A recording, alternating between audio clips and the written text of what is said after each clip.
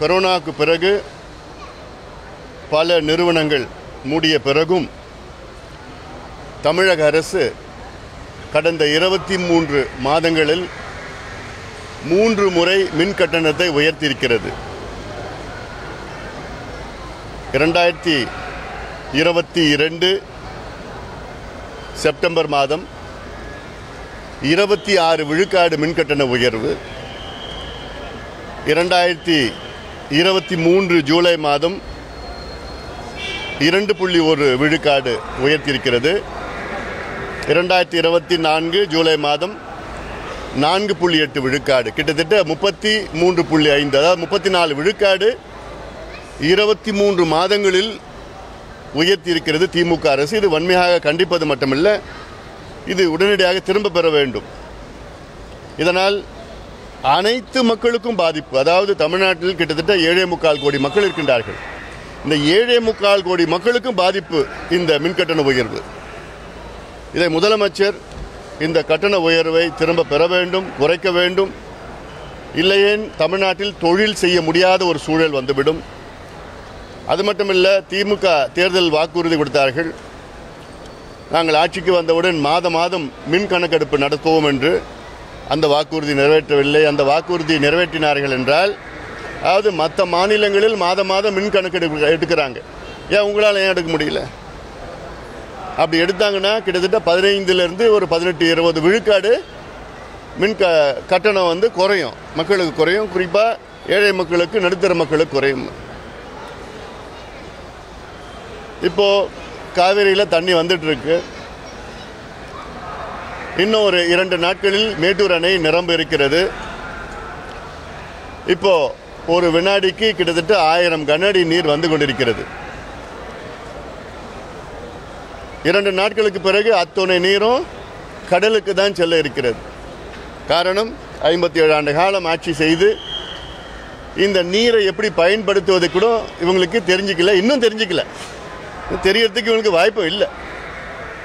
எவ்வளோ திட்டங்கள் நிலுவையில் இருக்கிறது. அதற்கெல்லாம் முக்கியத்துவம் கிடையாது. குறிப்பாக தருமபுரி காவிரி உபரிநீர் திட்டம் மேட்டூர் சேலம் உபரிநீர் திட்டம் அத்திக்கடுவு அவினாசி திட்டம் நல்லார் பாம்பார் திட்டம். அதன் பிறகு இந்த காவிரி குண்டார் திட்டம். இந்த காவிரி குண்டார் திட்டம் கிட்டத்தட்ட ஆறு மாவட்டங்களுக்கு நீர் செல்கின்ற திட்டம் அது. கரூரில் இருந்து சிவகங்கையிலேருந்து திருச்சியிலேருந்து புதுக்கோட்டையிலேருந்து மதுரையிலேருந்து விருதுநகர் போகிறது அறிவித்தாங்க பதினாறாயிரம் கோடி அறிவித்தாங்க ஆனால் அதன் பிறகு எந்த நடவடிக்கையும் எடுக்கலை. இது போன்ற திட்டங்கள். அது இல்லாமல் இப்போது குருவை சாகுபடி சரியான முறையில் நடக்கலை. காரணம் தண்ணி கிடையாது. ஆண்டுதோறும் மேட்டூர் அணை ஜூன் இரண்டாம் தேதி திறக்கின்ற பன்னெண்டாம் தேதி திறக்கின்ற மேட்டூர் அணை திறந்த ஆண்டு திறக்கல. இப்போ தண்ணி வந்திருக்கு. சம்பாவுக்காக தயார் நிலையில் இருக்கணும். ஏன்னா அந்த காவிரி டெல்டா பகுதியில் எல்லாமே தூர்ந்து போயிடுச்சு. காவாய்க்கில் இன்னும் தூர் வரலை. கணக்குக்கு மட்டும் தூர் வாரி இருக்கிறாங்க. கடை கோடிக்கு தி- நீர் போக போகிறது கிடையாது. எவ்வளோ தண்ணி வந்தாலும். இது ஒரு பக்கம் இருக்கிறது. அடுத்தது இந்த கோவை பகுதியில் கனிம வள கொள்ளை. இது சாதாரணமாக நடக்கல மிகப்பெரிய அளவு நடந்துகிட்ருக்கு பாட்டாளி மல் கட்சி சார்பில் எத்தனையோ போராட்டங்கள் நடத்தியும் இன்னும் அது அங்கங்கே அப்படி நீதிமன்றம் தீர்ப்பால் தான் ஏதோ கொஞ்சம் நிறுத்தி வச்சிருக்கிறாங்க. அதிகாரிகள் லஞ்சம் பெற்று அரசியல்வாதிகளும் அந்த லஞ்சம் போய் ரெண்டு பேரும் உடனடியாக நம்ம கொள்ளை நம்ம களிம வளத்தை கொள்ளடிச்சிட்டு இருக்கிறாங்க. செங்கல் சூளையாக இருந்தாலும் சரி வேறு எதுக்காக சரி கேரளாவுக்கு ஏற்றுமதி பண்ணிட்டு இருக்கிறாங்க. நிறைய நடந்துட்டு இருக்குது. ஆனாலும் அரசு அதுக்கு அது மெத்தனமாக இருக்குது ஆஸ் யூஷுவல் ஏன்னா இதில் என்னென்னா வருமானம் எல்லாத்துக்கும் போயிட்டு இருக்கு. இந்த மின் கட்டண உயர்வு அதற்கு காரணம் என்ன? இந்த மின்சாரத்துறையில் சரியான முறையில் நிர்வாகம் இல்லை ஊழல்.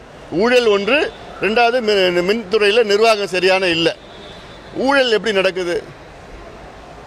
தமிழ்நாட்டின் மின் தேவைகள் பார்த்தீங்கன்னா உச்சத்தில் தேவைகள் கோடை காலத்து தேவைகள் இருபத்தாயிரம் இருபதாயிரம் மெகாவாட் அந்த இருபதாயிரம் மெகாவாட்டில் ஐயாயிரம் மெகாவாட் தான் தமிழக அரசு தயாரிக்கின்ற இந்த மின்சாரம். மீதி இருக்கிற பதினஞ்சாயிரம் மெகாவாட்டில் கிட்டத்தட்ட ஒரு நாலாயிரம் மெகாவாட் மத்திய அரசிடம் பெறுகிறது. பதினோராயிரம் மெகாவாட் தனியாரிடம் பெறுகிறது. அதுவும் அந்த உச்சத்தில் இருக்கிற அந்த காற்றாலைகள் மூலமாக ஒரு மூணு மாதம் கிடைக்குது அவங்களுக்கு. மற்ற காலத்தில் சராசரியாக தமிழக அரசு மின்சாரம் தயாரிக்கிறது ஒரு யூனிட் வந்து மூன்று ரூபாய் நாற்பது பைசானா? தனியாரிடம் இவங்க வாங்குறது வந்து பதினோரு ரூபாயிலேருந்து பதினஞ்சு பதினஞ்சு ரூபாய் வரைக்கும் ஒரு யூனிட் பதினோரு ரூபாயிலேருந்து பதினஞ்சு ரூபாய் வரைக்கும் ஒரு யூனிட் வாங்கிட்டு இருக்காங்க தனியார் கிட்ட வாங்குறாங்க. அதனால தான் வேண்டுமென்று தமிழக அரசு அதனுடைய மின் திட்டங்களை தொடங்க தயங்கி கொண்டிருக்கிறது. இப்போ மட்டும் இல்லை இது கட்டத்தில் பத்தாண்டு காலமாக பார்த்துட்டு இருக்கோம். அறிவிப்பு தான் வருது தவிர அவங்க வேணுமே நிறுத்தி வச்சிருக்கிறாங்க. அது தொடங்க மறுக்கிறாங்க. மறுக்கிறாங்க தற்போது பாமக தலைவர் அன்புமணி ராமதாஸ் செய்தியாளர்களை சந்தித்தார். அப்போது பேசிய அவர் தமிழகத்தில் கடந்த இரண்டு ஆண்டுகளில் மூன்று முறை மின் கட்டணமானது உயர்த்தப்பட்டிருப்பதாகவும் இந்த மின் கட்டண உயர்வை திரும்ப பெறாவிட்டால் தமிழகத்தில் தொழில் செய்யவே முடியாது எனவும் அவர் தமது கண்டனத்தை பதிவு செய்திருக்கிறார். இது தொடர்பான முழுமையான விவரங்களை பின்னர் வரும் செய்தி தொகுப்பில் பார்க்கலாம். செய்திகளை உடனுக்குடனும் துல்லியமாகவும் தெரிந்து கொள்ள சப்ஸ்கிரைப் பண்ணுங்க.